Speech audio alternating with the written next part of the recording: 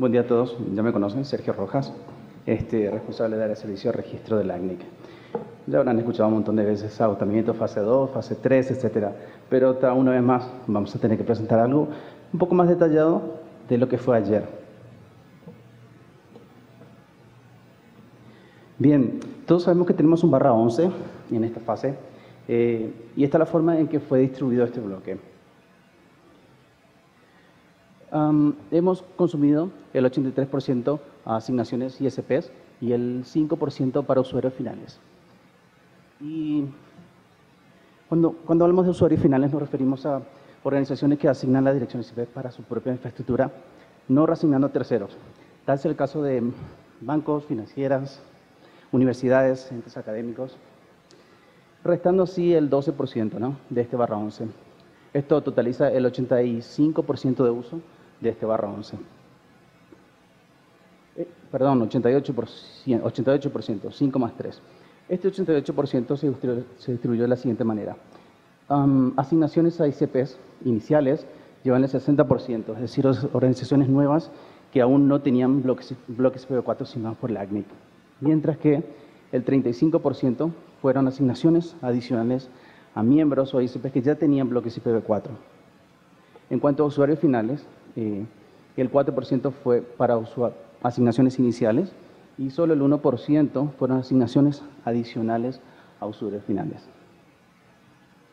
Tenemos aquí el top 10 de las asignaciones por país, encabezado por Brasil con el 75%, eh, seguido Argentina con el 8.2%, Chile con 2.3%, también México con 2.3%, Colombia 1.9%, eh, Honduras 1.7%, Venezuela con 1.1% y Panamá, Costa Rica y Perú por debajo del 1%. Esta es la forma en que se distribuyó, o sea, los top 10 de asignaciones en este barra 11. Ayer mostramos una, una predicción de agotamiento de esta fase, eh, pero estaba un poco solapadas los distintos eh, modelos de, predicciones. ¿no? Entonces, vemos aquí al comienzo de la fase, porque esta fase activamos en junio del año pasado, los tres primeros meses teníamos una, un comportamiento bastante um, lineal, por eso es que eh, graficamos una, una, predicción lineal, y esta fecha nos daba um, como, como predicción de agotamiento a mediados de enero más o menos. Luego al cuarto mes vemos que hay bastante variación aquí en el comportamiento de las asignaciones, por lo tanto decimos hacer otros modelados. Y tenemos aquí una predicción eh, polinómica de grado 2 que más o menos acompaña el comportamiento de las asignaciones. Esto nos da una fecha de agotamiento a finales de, noviembre más o menos. Pero aún así mm, mm, la predicción no acompaña tanto el comportamiento. Sin embargo, Aquí tenemos un, modelado de, grado 3, donde sí realmente vemos que la línea roja acompaña el comportamiento de asignaciones. Por lo tanto, esta es, este es el modelado de proyección más acertado. Por lo tanto, tenemos una fecha de agotamiento del día 26 o 27 de octubre más o menos.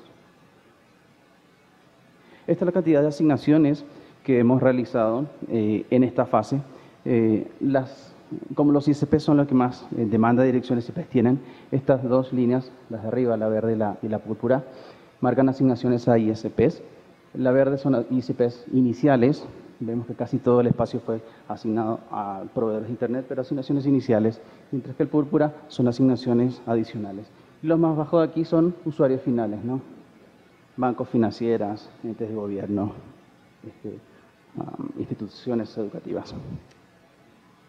Bien, eso, eso es todo con respecto al, reporte de esta fase 2.